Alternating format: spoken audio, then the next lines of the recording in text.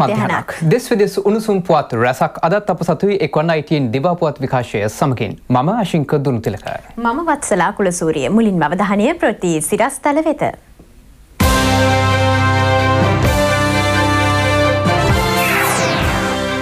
නව අමාත්‍යංශවලට අයත් විෂයපත ගැසට් කෙරේ. අයකුට මරු කැඳුවමින් කඩාවැටනු විදුලි සෝපානය පිළිබඳ පරීක්ෂණ. ක්‍රකටෝවා ගෙනකන්දේ තුනෙන් දෙකක් මුහොදට.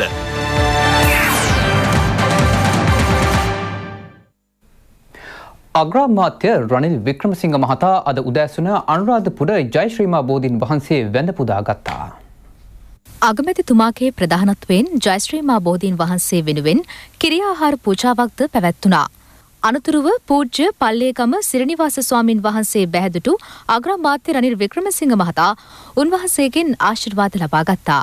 පී හැරිසන් දයාගමක යන අමාත්‍යවරුන් ඇතුළු පිරිසක් මෙම අවස්ථාවට සහභාගී වුණා. කොළඹ නවම් මාවත ප්‍රදේශයේ පිහිටි ගොඩනැගිල්ලක විදුලි සෝපානය කඩා වැටීමෙන් පුද්ගලයෙකු මිය ගොස් දෙදෙනෙකු තුවාල ලබා තිබෙනවා. සිද්ධියෙන් මියගොස් ඇත්තේ වයස අවුරුදු විසි හතරක් වන තළංගම ප්‍රදේශයේ පදිංචිකරුවෙක් කොළඹ ජාතිකරෝහට ඇතුළත් කරනු අනෙක් පුද්ගලයන් දෙදෙනාගෙන් එක් අයෙකු ප්‍රතිකාර ලබා ගැනීමෙන් පසු මේ වන විට රෝහලෙන් පිටව ගොස් ඇති අතර අනෙක් පුද්ගලයා තවදුරටත් ප්‍රතිකාර ලබන බවයි පොලිසිය සඳහන් කරන්නේ. සිද්ධිය සම්බන්ධයෙන් කොම්පඤ්ඤි විදිය පොලිසිය වැඩිදුර විමර්ශන පවත්වනවා. මේ අතර කොළඹ මීගමුව මාර්ගයේ හේකිත්ත මන්සන්දයේදී යතුරුපැදියක් සහ කන්ටේනර් රථයක් එකිනෙක ගැටීමෙන් අනතුරක් සිදු වුණා. මෙම අනතුරින් යතුරුපැදියේ ගමන්ගත් තුන් දෙනෙකු අතරින් දෙදෙනෙකු මිය ගොස් එක් අයෙකු බරපතල තුවාල ලබා රෝහල්ගත කෙරුණා.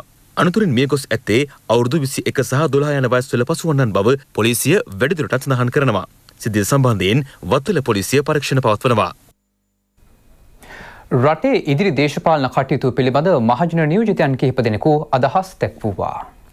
අපි තව දන්න කාලෙකට මේ ආණ්ඩුවත් එක්ක ඡන්දයක් ගන්න පුළුවන්. පහුගිය කාලේ අපි ගන්න පුළුවන්ද කියලා බැලුවා. සම මේ තත්ත්වයේ යටතේ නැවත ලංකාවේ ඡන්දය කවදා තියෙයිද කියලා අපි දන්නේ නැහැ. මොන හේතුවකින් හෝ තම තමන්ගේ දොළදුකවල් සංසිඳවා ගැනීම සඳහා මේ රට කොටස් කරන්න දෙන්නේ නැහැ කියන තැන අපි ඉන්නවා. ඉදිරියේදී මාස කිහිපයකින් පළාත් සභාව මැතිවරණ අනිවාර්ය වෙනවා. නීති අනුකූල පළාත් සභාවට කාල වෙලා තියෙනවා. නීති අනුකූල ඒක වෙනවා. ජනාධිපතිතුමා එතුමාගේ බලය පාවිච්චි කරලා නැහැ. එතුමා තියෙන කාලය අනුව පළාත් සභාව නීතිය නොනේ අනුව ජනාධිපතිතුමාගේ බලතැලත් එක්ක ජනාධිපතිම නීති අනුකුල පලසභාමතිවරණය පවතයි.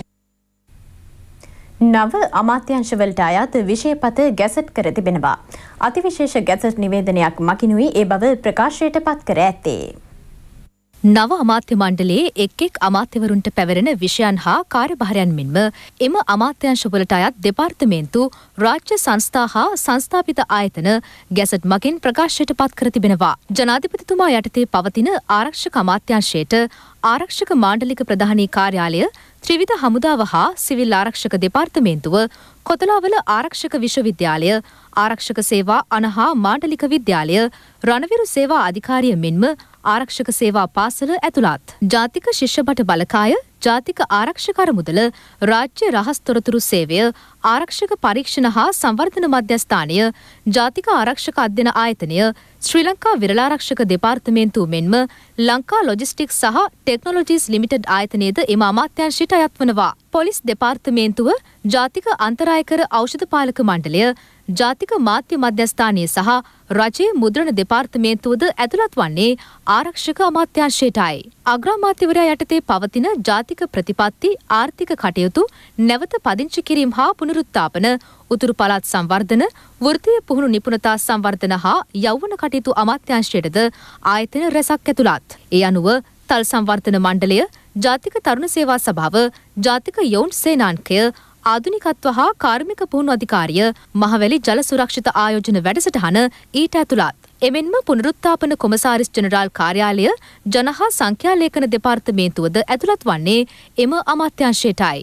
මහා බාණ්ඩාකාරය ශ්‍රී ලංකා මහ බැංකුව සියලුම රාජ්‍ය බැංකු හා ඒවායේ පාලිත සමාගම් සුරැකුම් පත් හා විනිමය කොමිසම ජාතික ලොතරැයි මණ්ඩලය හා සංවර්ධන ලොතරැයි මණ්ඩලය ජනමාත්‍ය හා මුදල් අමාත්‍යංශයට අයත් වෙනවා. ශ්‍රී ලංකා ගුවන්විදුලි සංස්ථාව රූපවාහිනී සංස්ථාව ස්වාධීන රූපවාහිනී සේවය හා ලේක්හවුස් ආයතනයද මහජන උපයෝගීතා කොමිෂන් සභාවද අයත් වන්නේ එම අමාත්‍යංශයටයි.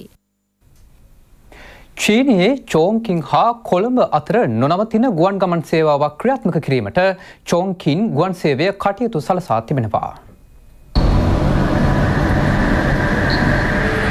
ජාත්‍යන්තර ගුවන් තොටුපොළ සහ කටුනායක බණ්ඩාරනායක ජාත්‍යන්තර ගුවන් තොටුපොළ අතර සතියකට දින තුනක් ක්‍රියාත්මක කිරීමටයි සැලසුම් කර තිබෙන්නේ. මීට අදාළ ගුවන් ප්‍රවේශපත් දකුණු චීන ගුවන් ටිකට් පත් කාර්යාලවලින් සහ බලයලත් සංචාරක නියෝජිත ආයතන මගින් ලබා ගැනීමේ හැකියාව පවතිනවා.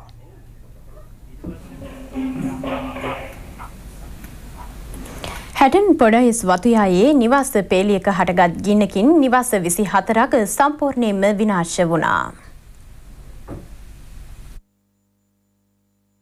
මනයි මෙම ගින්න හටගෙන තිබෙන්නේ. හැටන් දික්කොය නගර සභාවේ ගිනි නිවීමේ ඒකකය හැටන් පොලිස් නිලධහරින් සහ වතුකම්කරුවන් ගින්න නිවාදැනීමට දැඩි පරිශ්‍රමයක් ගත්තා. අවතන් වී සිටින පුද්ගලින් සංඛ්‍යාව එකසිය පණහකට ආසන්නයි. ඔවුන් එම වතුයායේම තාවකාලික ස්ථානයක රඳවා තැබීමට වතුපාලන අධිකාරිය කටයුතු කර තිබෙනවා. ගින්නෙන් සිදු වූ හානිය මෙතෙක් තක්සේරු කර නැහැ. සිදිය සම්බන්ධයෙන් හැටන් පොලිසිය වැඩිදුර පරීක්ෂණ පවත්වනවා.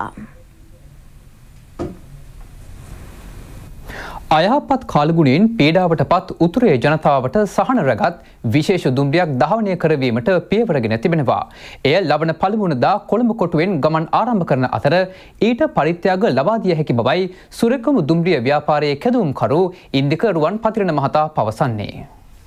උතුරු පළාතේ අයහපත් කවුදත්ත නිසා පීඩාවට පත්‍ර දෙන ජනතාවගේ ප්‍රශ්න අපි දැකලා අපි ආදිසිය තීරණය කරා මේ ජනතාව වෙනුවෙන් සහන දුම්රියක් කිලිනොච්චිය දක්වා ධාවනය කරන්න. අපි බලාපොරොත්තු වෙන්නේ 2019 ජනවාරි පළවෙනිදා උදේ 6 මාට කොළඹ කොටුව දුම්රිය ස්ථානයෙන් ආරම්භ කරන්න. එම දුම්රිය පස්වරු දෙකට පමණ අපි කිලිනොච්චි දුම්රිය ස්ථානයට ළඟා වෙනවා. මෙම දුම්රියට රාගම, ගම්පහ, වේයන්ගොඩ, මීරිගම, පොල්ගහවෙල, කුරුණෑගල, ගණේවත්ත, මහව, ගල්ගමුව, අණ්ඩාවබිර කියන දුම්රිය ස්ථාන වලින් දුම්රිය මගින්ට මහ ජනතාවට පුළුවන් අර ජනතාව වෙනුවෙන් Taman ලබා ලබා දෙන ආධාර ලබා දෙන්න. දැන්ටත් රාජ්‍ය සහ පෞද්ගලික ආයතන වලින් විශාල ආධාර ප්‍රමාණයක් අපිට එකතු වෙමින් තියෙනවා. මේ සියලුම ආධාර අපි ජනරල් පරින්දා උදේ 6 මාට කොළඹ කොටුවෙන් පටන් ගන්න යාල්දේ දුම්රියට සමගාමීව අපි යන සාහන දුම්රියෙන් අපි කිලෝචි දුම්රිය ස්ථානට ගොස් ඒ අවතන් වෙච්ච අයට ලබා දෙන්න අපි කටයුතු කරමින් සිටිනවා.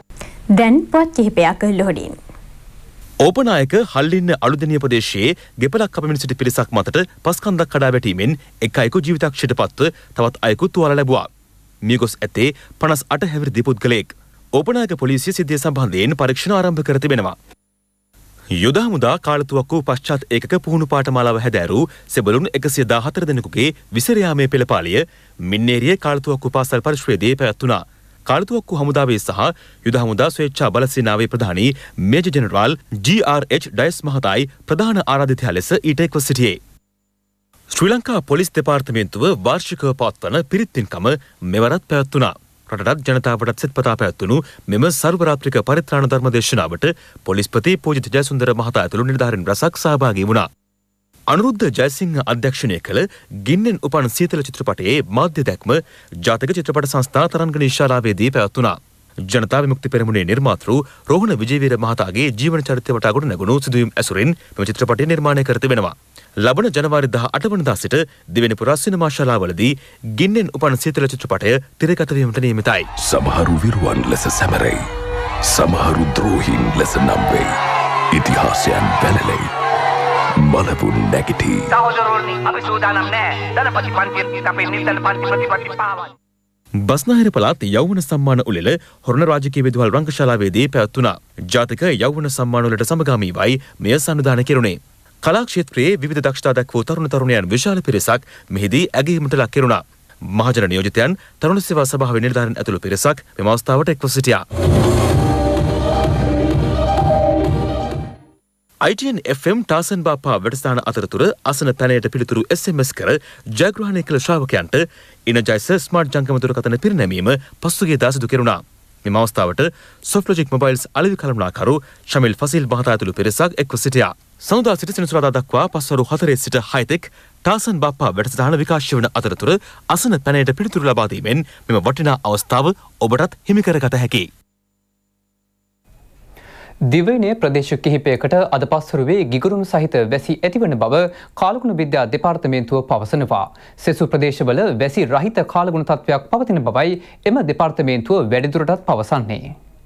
නැගෙනහිර පළාතේත් ඒ වගේම මාතලේ දිස්ත්‍රික්කයේත් සිහින් වැසි ඇතිවේවි. රත්නපුර, බෑල්ල සහ මාතර දිස්ත්‍රික්කවල ස්ථාන ස්වල්පයක පස්වල දෙකෙන් පමණ පසුව වැසි හෝ ගිතුරුම් සහිත වැසි බලාපොරොත්තු වෙනවා. දිවයිනේ යනකුත් ප්‍රදේශවල ප්‍රධාන වශයෙන් වැසි රහිත කාලගුණික තත්ත්වයක් පවතීවි. මධ්‍යම, සබරකමුව සහ බස්නාහිර පළාත්වල සමහර ප්‍රදේශවල උදේ කාලයේදී මීදුම් සහිත තත්ත්වයක් බලාපොරොත්තු වෙනවා. ගිගුරුම් සහිත වැසි ඇතිවන විට එම ප්‍රදේශවල తాවකාලිකව තද සුළං නැති වෙන්න පුළුවන්. ඒ වගේම අකුණු මගින් සිදුවන අනතුරු අවම කර ගැනීමට අවශ්‍ය පියවර ගන්නා ලෙස ජනතාවගෙන් කාරුණිකව ඉල්ලා සිටිනවා. නැගෙනහිර මුහුදු ප්‍රදේශවල සිහින් නැසී ඇතිවේවි. ඒ වගේම කොළඹ සිට ගාල්ල හරහා මාතර දක්වා වන වෙරළට ඔබ්බෙන් වන මුහුදු ප්‍රදේශවල සවස් කාලයේදී හෝ රාත්‍රී කාලයේදී ස්ථාන ස්වල්පයක වැසි හෝ ගිගුරුම් සහිත වැසි බලාපොරොත්තු වෙනවා. දිවයින වටා මුහුදු ප්‍රදේශවල සුළං ඊශාන දිශාවෙන් හමනවා. සාමාන්‍ය සුළඟේ වේගය පැයට කිලෝමීටර් 25 35 අතර අගයක් ගන්නවා. මාතර සිට හම්බන්තොට හරහා පුතුවිල් දක්වා වෙරළට ඔබ්බෙන් වන මුහුදු ප්‍රදේශවල සහ මන්නාරම සිට පුත්තලම හරහා කොළඹ දක්වා වන වෙරළට ඔබ්බෙන් වන මුහුදු ප්‍රදේශවල සුළඟේ වේගය විටින් විට පැයට කිලෝමීටර් 40ත් 50ත් පමණ දක්වා වැඩි වෙන්න පුළුවන්. දිගුරුම් සහිත වැසි ඇතිවන විට එම ප්‍රදේශවල తాවකාලිකව තද සුළං නැතිවීමේ හැකියාවක් පවතිනවා. එවිට එම මුහුදු ප්‍රදේශ తాවකාලිකව රළු වීමේ හැකියාවක් පවතිනවා. අවධානය යොමු කරමු ක්‍රීඩා පිටිය වෙත.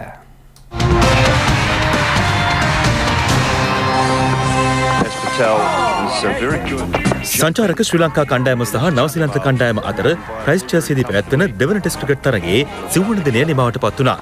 ලකුණු 660ක ජයග්‍රාහී ඉලක්කයක් හඹා යන ශ්‍රී ලංකා ක්‍රීඩකයන් දිනය නිමවට පත්වන විට කඩලු 6ක් දැවී ලකුණු 231ක් රැස් කර ගැනීමට සමත් වුණා. Just got a faint edge through to BJ Watling. That was 200 test catches for BJ Watling. 190 with the gloves and 10 in the field for New Zealand. නොදවී කඩුල්ලේ රැඳී සිටින්නේ දෙල්ටුවන් පෙරේරා සමගින් සුරංක ලක්මාල්. ශ්‍රී ලංකා දෙවන ඉනිම වෙනුවෙන් නායක දිනේශ් චන්දිමාල් සහ කුසල් මෙන්ඩිස් අර්ධ ශතක වාර්තා කිරීමට සමත් වුණා. ඇන්ජලෝ මැතිව්ස් පාදයේ ඇති වූ ආබාධයක් හේතුවෙන් තේපානෙන් පසුව පන්දුවට පාර දීමට පැමිණියේ නැහැ. ඒ වන විට ඔහු ලකුණු 22ක් රැස් කරගෙන සිටියා. නවසීලන්තය පළමු ඉනිම වෙනුවෙන් ලකුණු එකසිය හැත්තෑ අටක් රැස් කළ අතර දෙවන ඉනිමට කඩුළු හතරක් පමණක් දැවී ලකුණු පන්සිය අසූ පහක් රැස් කළා. ශ්‍රී ලංකාව පළමු ඉනිම සඳහා රැස් කළේ ලකුණු එකසිය හතරක් පමණයි. හෙට තරගේ අවසන් දිනයයි. And very well done, Pereira and Russell. Shown some really good fight and tenacity in the last 38 minutes.